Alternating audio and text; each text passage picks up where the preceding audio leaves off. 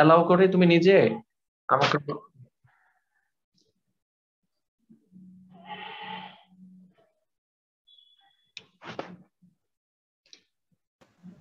করে দাও আমাকে। আচ্ছা তাহলে চলো, আমরা আজকে প্রথমে যে টপিকটা নিয়ে আলোচনা করব very important for us because প্রথম টপিক টপিকটা হলো কি জানো? একটা জিনিস হলো, একটা, এটা খুব ইম্পর্টেন্ট এই বিষয়টা খুব ইম্পর্টেন্ট যেমন ধরো আমরা আমরা দুই ধরনের ভগ্নাংশ দেখতে পাই। আপনার আমরা কয় ধরনের ভগ্নাংশ দেখতে পাই, স্যাররা? দুই ধরনের। একটা হলো সাধারণ ভগ্নাংশ। একটু খেয়াল করো। সাধারণ ভগ্নাংশ, ওকে? দুই ধরনের ভগ্নাংশ একটা সাধারণ ভগ্নাংশ, আর একটা হলো দশমিক ভগ্নাংশ। ওকে?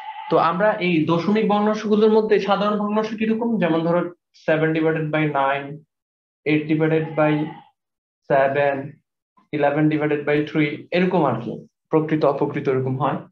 আর দশমিক ভগ্নাংশগুলো কেমন হয়? যেমন three point seven eight nine ধরো এটা একটা দশমিক ভগ্নাংশ এবং এটা একটা সসীম মানে সসীম তিনটা অঙ্ক আছে। আরেকটা আছে থ্রি পয়েন্ট ধরো এইট নাইন সেভেন এখানে এখানে পৌনপণিক তার মানে এটা হলো আবৃত দশমিক ভগ্নাংশ। তার মানে আবৃত কেন? দেখো, এখানে থ্রি এবং এইট এই অংশটা হলো অনাবৃত। এই অংশটা হলো অনাবৃত ওকে এই অংশটা কি বলতো? অনাবৃত ওকে যে এই অংশটা অনাবৃত। অনাবৃত।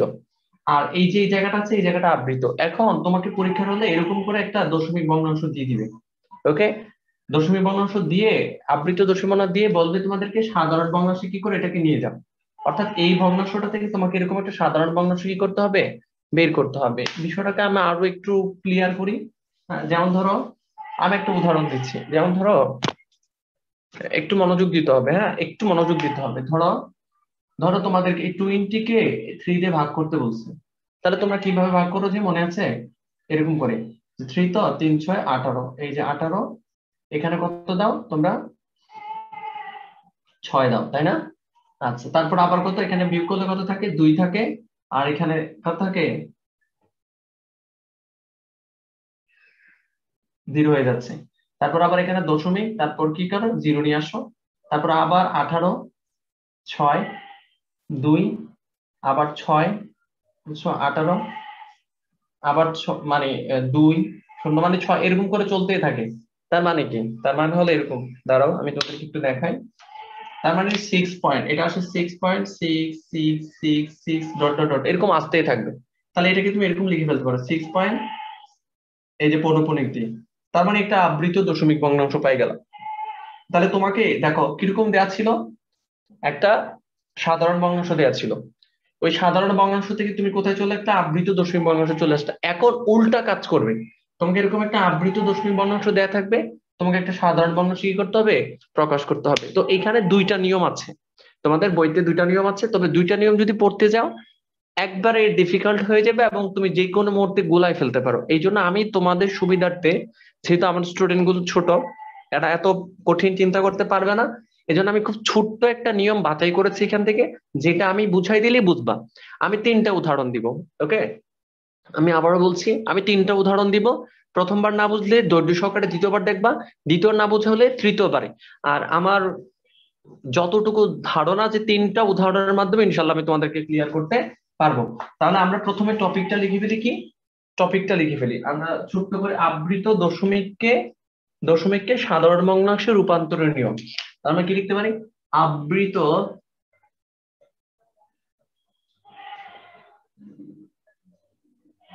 দশমিককে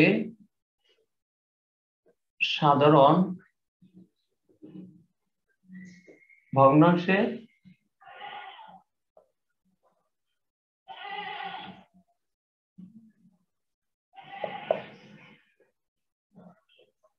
নিয়ম ওকে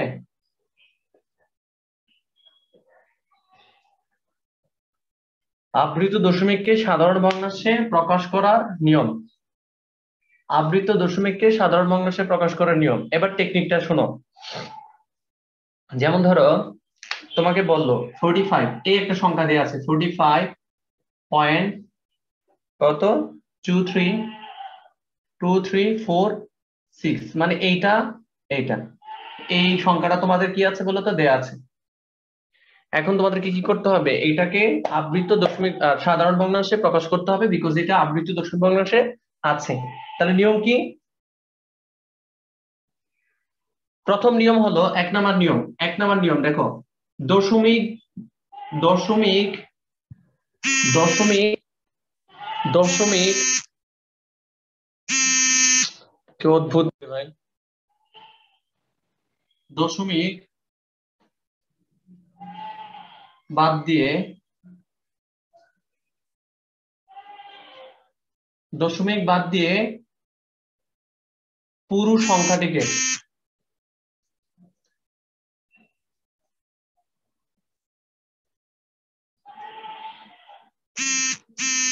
কি অদ্ভুত বিষয় আমি কেটে দিচ্ছি।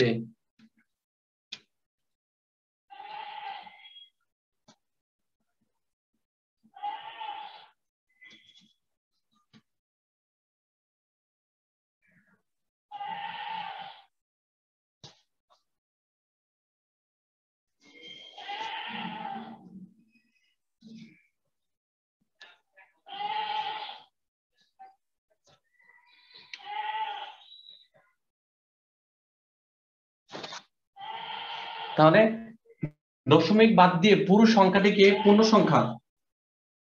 পূর্ণ সংখ্যা কল্পনা করতে হবে। উদাহরণ এই দশমিক বিন্দু বাদ দাও। তাহলে দশমিক বিন্দু বাদ দিলে কত থাকে ফোর, ফাইভ। তাহলে কি থাকে? Two, three. Four, six. তাহলে দেখো, four, five, two, three, four, six. পুরো একটা সংখ্যা পাওয়া গেছে। ক্লিয়ার? ক্লিয়ার আচ্ছা। তাহলে আমরা প্রথমে এই এই এই কাজটা করব। তার মানে কি পেলাম? দশমিক বাদ দিয়ে। দশমিক বাদ দিয়ে পুরো সংখ্যাটাকে পূর্ণ সংখ্যা কল্পনা করতে হবে। ওকে তারপর দুই নাম্বার নিয়ম কি? দুই নাম্বার হলো দেখো আবৃত অংশ। দেখো। দেখো দশমিক তারপর দশমিক বিন্দুর পরে আবৃত অংশে যতগুলো অঙ্ক আছে দেখো দশমিক বিন্দুর পরে দশমিক বিন্দু, তাহলে দশমিক বিন্দুর পরে আবৃত অংশে যতগুলো অঙ্ক আছে, তাহলে কত, আবৃত অংশে কতগুলো অঙ্ক আছে? তিনটা অঙ্ক, দেখো, একটা, দুইটা, তিনটা। একটা, দুইটা, তিনটা, আবৃত অংশে, দেখো দশবিন্দুর পরে আবৃত অংশে যতগুলো অঙ্ক আছে, ততগুলো নাইন নিতে হবে। ওকে ততগুলো, এবং অনাবৃত অংশে অনাবৃত অংশে যতগুলো অঙ্ক আছে, ততগুলো শূন্য। তাহলে অনাবৃত অংশে কতগুলো অঙ্ক আছে? একটা অঙ্ক। তাহলে ততগুলো শূন্য নিয়ে কি করতে হবে? ভাগ করতে হবে। কাকে? একে ভাগ করতে হবে। ঠিক আছে? আরেকটা নিয়ম কি? তারপর দেখো, আমি আবার বলছি, দেখো। প্রথমে এখানে কি করব আমরা? দশমিক বাদ দিয়ে, দশমিক। আমি প্র্যাকটিক্যাল উদাহরণ দেখালে তোমাদের ক্লিয়ার হয়ে যাবে। দশমিক বাদ দিয়ে, তাহলে দশমিক বাদ দিয়ে পুরো সংখ্যাটাকে পূর্ণ সংখ্যা কল্পনা করতে হবে। ওকে?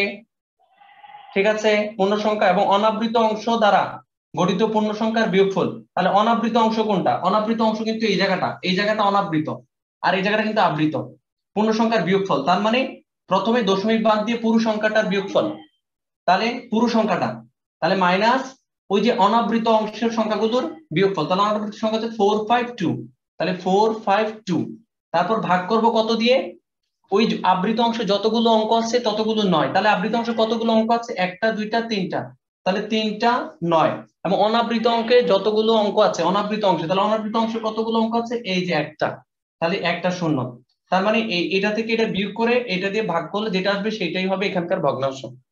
দেখো তো ক্লিয়ার কিনা? এবার আমি তোমাদেরকে উদাহরণটা দিয়ে বুঝাই, উদাহরণ দিয়ে বুঝাই বলি। দেখো, এই উদাহরণটাকে এবার আমরা কল্পনা করে নিচ্ছি। দেখো, তাহলে এইটাই নিচ্ছি। দেখো, একটু খেয়াল করে দিকে দেখাও। Four five point two three four six এইখানে এইখানে। তাহলে ভগ্নাংশ কি হবে? ভগ্নাংশ। ভগ্নাংশ, দেখো, লহর লহর সরি এটা হবে লব এটা হবে হর। তাহলে লবের ঘটনা কি হবে?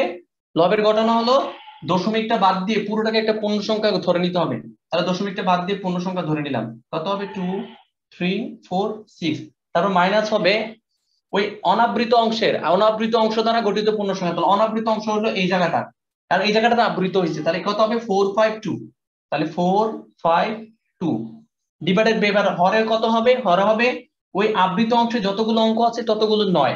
তাহলে একটা, দুইটা, তিনটা অঙ্ক আছে, তাহলে তিনটা নয়। একটা, দুইটা, তিনটা। এবং অনাবৃত অংশে যতগুলো অঙ্ক আছে, তাহলে অনাবৃত অংশ কোনটা? এই জায়গাটা কিন্তু এই যে, দশমিকের পরে অনাবৃত অংশ। তাহলে এই যে, দশমিকের পরে অনাবৃত অংশ এটা। টু তাহলে এটা হলো শূন্য। এবার এটা থেকে এটা বিয়োগ করার পর যেটা থাকে সেটাই হবে আমাদের একটা ভগ্নাংশ দেখো তো পারব কিনা? বাকিটা এবার এটা থেকে এটা বিয়োগ করে দিলে তো নিচে ভগ্নাংশ পেয়ে গেলাম আমরা। দেখো তো ক্লিয়ার কিনা?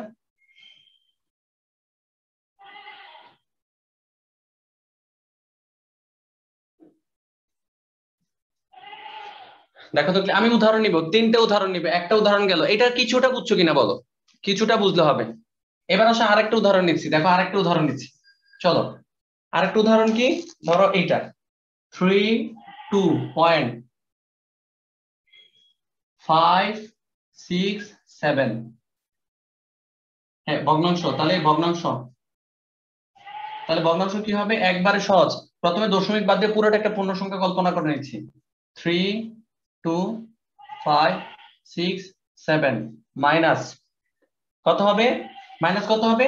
ওই যে বলছিলাম যে ওই আবৃত অংশ ছাড়া বাকিটা দিয়ে পূর্ণ সংখ্যা। তাহলে আবৃত অংশ ছাড়া তো এই জায়গাটা আছে মাত্র শুধু। থ্রি টু তাহলে হবে? থ্রি টু তারপর নিচে কি হবে? আবৃত অংশে যতগুলো অঙ্ক আছে ততগুলো নয়। তাহলে আবৃত অংশ হলো এখান থেকে এই পর্যন্ত। তাহলে কয়টা? একটা, দুইটা, তিনটা। তাহলে একটা, দুইটা, তিনটা। তাহলে অনাবৃত, এবার দশমিকের পরে অনাবৃত অঙ্ক অনাবৃত অংশের অঙ্কের যতটা অঙ্ক থাকবে ততটা শূন্য। তাহলে এখানে দশমিকের পরে কিন্তু অনাবৃত কোনো অঙ্ক নাই। দেখো, এখানে কিন্তু অঙ্ক নাই। তার মানে শূন্য আর আসবে না। তাহলে কত হবে? এইটা হবে। তাহলে বিয়োগ করলে, এটা থেকে এটা বিয়োগ করলে হয় কত জানো? Three two five six seven nine nine nine এই তো হয়ে গেছে। এবার এটা মানে অপকৃত আছে, তোমরা একটু মিশ্র, মিশ্রতে নিয়ে যাবে আর কি। দেখা তো ক্লিয়ার কিনা?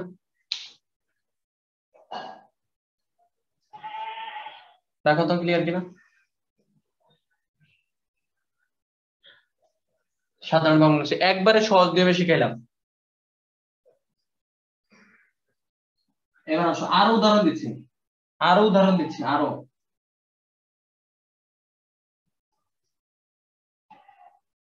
এবার আসো, আরেকটা উদাহরণ দিচ্ছি। চলো, আরও একটা উদাহরণ দিচ্ছি। আমি অনেকগুলো উদাহরণ করে দিচ্ছি, দেখো। দেখো, জিরো পয়েন্ট ওয়ান, এইটা, তারপরে এইটা। তাহলে কি বলছিলাম? এই দশমিক বাদে পুরোটাতে একটা সংখ্যা হবে। তাহলে জিরো, ফোর, ওয়ান একটা সংখ্যা হচ্ছে। কিন্তু জিরো তো দেওয়া লাগে না, তাহলে এটা বাদ। মাইনাস কত হবে? মাইনাস হবে ওই যে আবৃত পর্যন্ত মানে দশমিক এবং দশমিকের পরে অনাবৃত যতগুলো অঙ্ক আছে ততগুলো সংখ্যা। তাহলে এখানে তো নাই কিছু। তাহলে জিরো বিয়োগ যাবে শুধু। তাহলে এখানে কয়টা? একটা, দুইটা। দুইটা নয়। তাহলে এখানে কোনো অবৃত অংশ শূন্য নাই। তার মানে এটা হবে একচল্লিশ, নাইন নাইন। দেখো এটাকে বিয়োগ করলে আবার এটা পাবো একবারে সহজ। তাহলে এবার আরও একটা করে দেই। Three point zero four six two three এবার খেয়াল করো, প্রথমে আমরা কি করব? এই দশমিকটা বাদে পুরোটা একটা সংখ্যা চিন্তা করব। তাহলে three zero four six two three minus তারপরে কি? যে দশমিক সহ আবৃত অংশের টোটালটা নিয়ে, এই জায়গাটা নিয়ে একটা সংখ্যা হবে। তাহলে থ্রি জিরো ফোর তাহলে আবৃত অংশে যতগুলো অঙ্ক আছে, একটা, দুইটা, তিনটা অঙ্ক আছে, তাহলে তিনটা নাই। তাহলে এবার দশমিকের পরে অনাবৃত অংশে যতগুলো অঙ্ক আছে, তাহলে দশমিকের পরে অনাবৃত অংশ এই জায়গাটা। তাহলে কয়টা অঙ্ক আছে? একটা, দুইটা, তাহলে দুইটা শূন্য। এই তো হয়ে গেছে। এবার এটা থেকে এটা বিয়োগ করে পেয়ে যাব। দেখো তো ক্লিয়ার কিনা?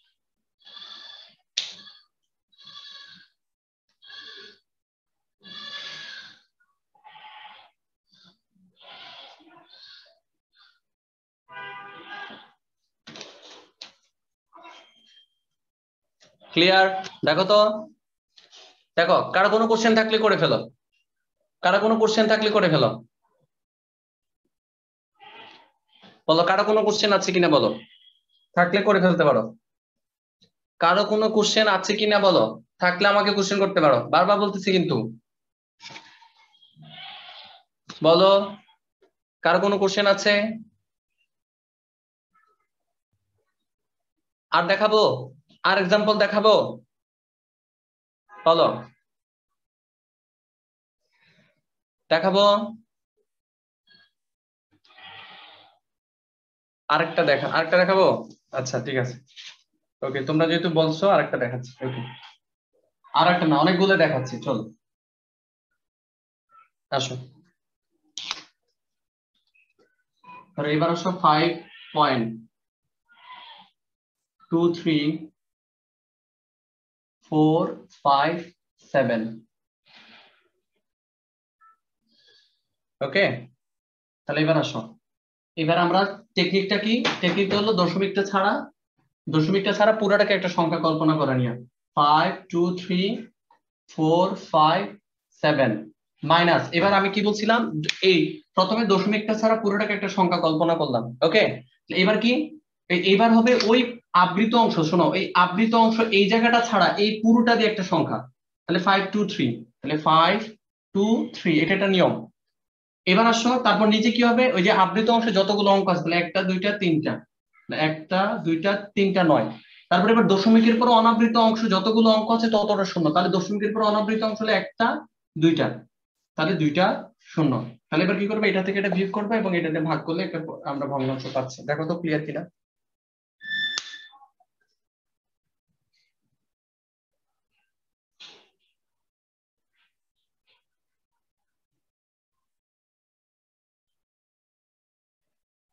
ক্লিয়ার আচ্ছা।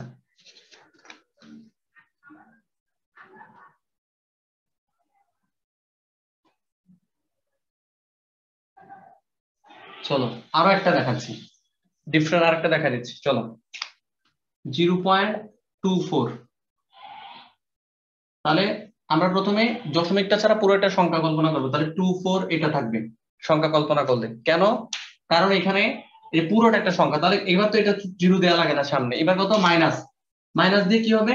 ওই, এই আবৃত অংশ হলো এই জায়গাটা এই জায়গাটা। এই জায়গাটা ছাড়া বাকিটা দিয়ে একটা সংখ্যা। তাহলে বাকিটা তো এখানে শুধু জিরো আসবে তাহলে জিরো বিয়োগ যাবে। তাহলে একটা, দুইটা দুইটা নাই তাহলে যে দুইটা নাই ওকে আর এখানে দশমিকের পরে কোনো অনাবৃত অঙ্ক নাই। তার মানে এখানে জিরো আসবে না। তাহলে কত হবে? টোয়েন্টি ফোর নাইন নাইন আমরা যদি গুণ করে তিন আটা চব্বিশ, তিন আর তিন তেত্রিশ হবে। এই যে চলে আসছে তিন দিয়ে তিন দিয়ে কাটলে, তাহলে এই যে দেখছ? কঠিন বলো